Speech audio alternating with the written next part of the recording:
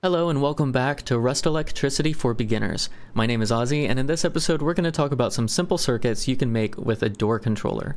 Now I don't normally mess with door controllers while I'm still in my starter base, but it is useful information to have if you're constantly getting door camped.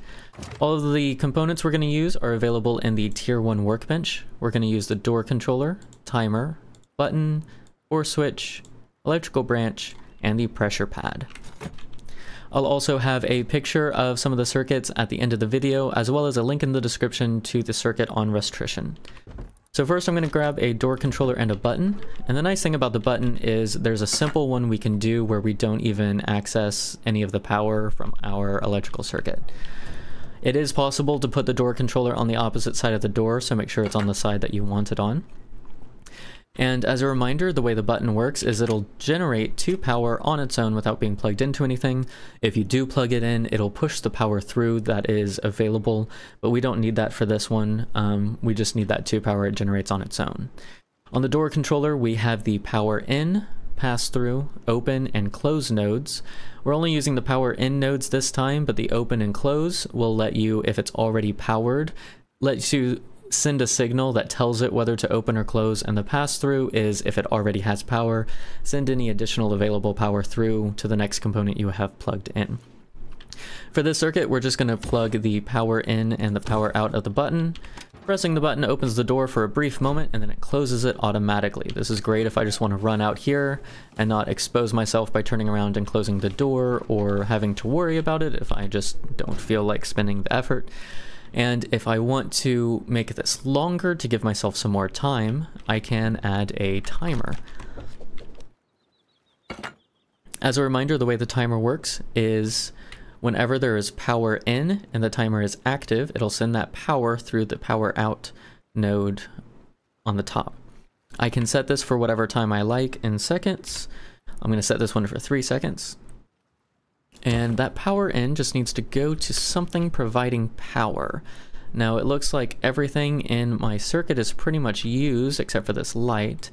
But this light only turns on when, or only receives power whenever this switch is active and it's nighttime due to this daylight sensor.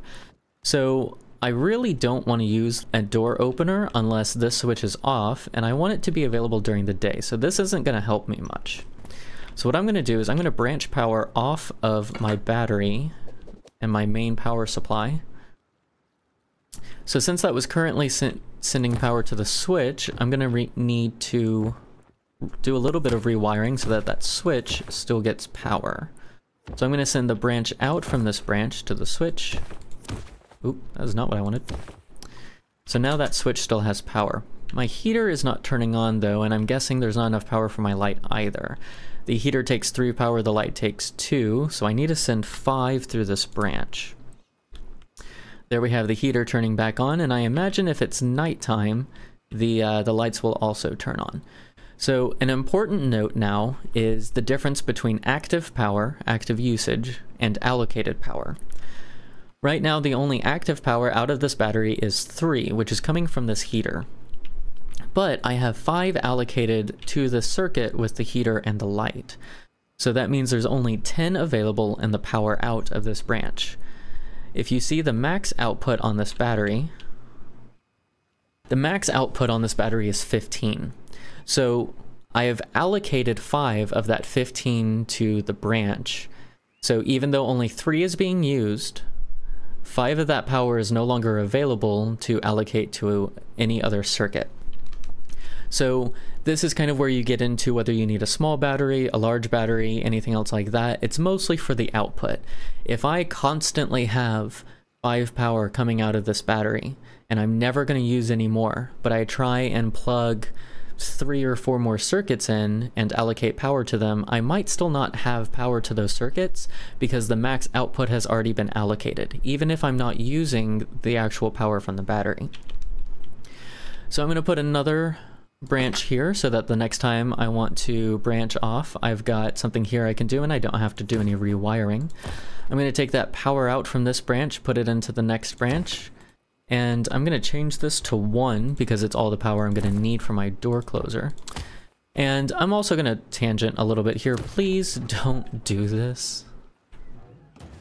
don't let your wires pass through the outside of your base if it's not necessary. Like if you've got a big compound or something, that might be different. But if someone can figure out where your power is going or coming from, they can avoid traps in your bases. They can, you know, do all sorts of things. If you want to draw pictures in your base on the ceiling or something, like that's fine. Just don't let it be outside your base unless you're trying to deceive someone. Like that's different. All right. So the red light means there is power going into this timer, but it's not active. The green light means that the timer is active and has power. We can activate the timer using the node on the side, such as if we wanted to do a button from somewhere else in the base or something, but we don't need that for this one because we can just activate it manually. So we set this timer for three seconds. It'll now open that door for three seconds for us which gives us a little bit more time if we maybe want to peek out and see before we run out and that door will still close. You can set this for 10 seconds, 15, 50, whatever you need it for, whatever. This will also be useful later if you decide to do base defense with automatic doors and turrets. Now, one other thing is we can have both of these available at the same time if we run them through an OR switch. So if we take an OR switch and we plug in both the timer and the button to these nodes on the bottom, the switch will basically say whichever one is active will pass through, have a green light, and pass power through the OR switch. If they're both active at the same time, it takes whichever power is greater. So I can plug this OR switch into the door controller, and when the button is active, it'll be a short opening. When the timer is active, it'll be a little bit longer, whatever I've set it to. And if they're both active at the same time, what you'll find is because the button produces two power, and we only have one power coming out of the timer, it'll pull power from the button first. And when that button deactivates, it'll pull one power from the timer. If I were to send six power into the timer and they were both active, it would essentially ignore the button.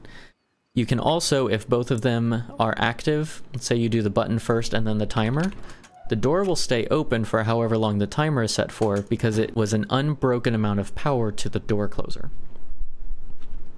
Another cool thing you can do with door closers is hook them up to pressure pads because they produce their own power. This is great for if you've got a garage door that you want to be able to roll over with a vehicle and have the door open for a brief moment, just enough to get the vehicle in.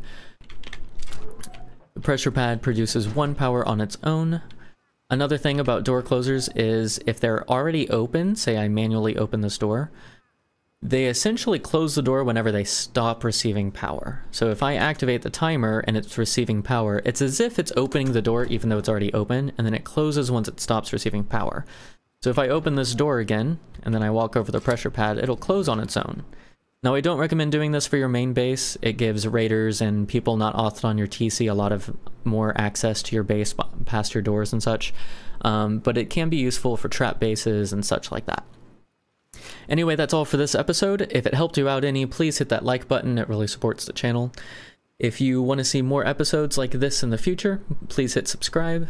If you have any comments or questions for me, put them down below, and I will see you all next time.